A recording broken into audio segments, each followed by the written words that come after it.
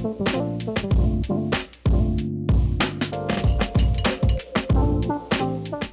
good morning, everyone. Welcome to Morning Manna.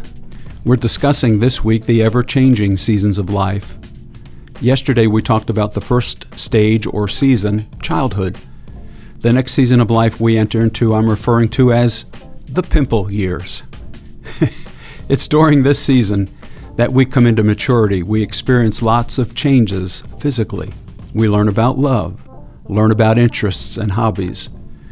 And man, there were those zits, gross pimples all over my face. Spiritually speaking, this is when our walk with God begins to develop. Our spiritual roots begin to go deep. It reminds me of the parable of the seed and the sower from Matthew 13, where the roots go deeper and deeper. It says in verse 7 Other seed fell among the thorns, which grew up and choked the plants.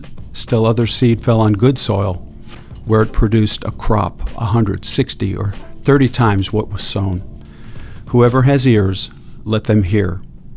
In this stage of life, we also begin to develop and learn about romance. I'll never forget the first time I laid eyes on Rachel.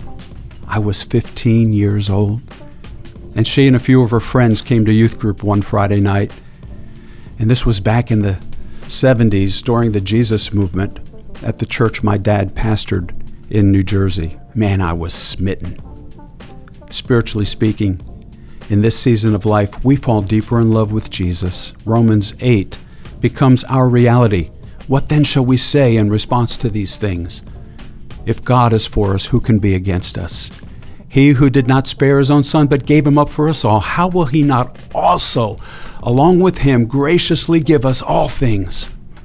Who will bring any charge against those whom God has chosen? It is God who justifies. And here we go.